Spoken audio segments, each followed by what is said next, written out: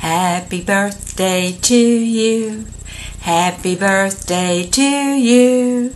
Happy birthday, dear Traci.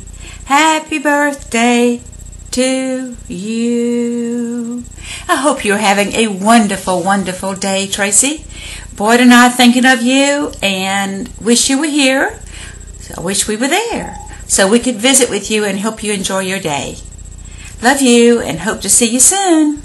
Bye.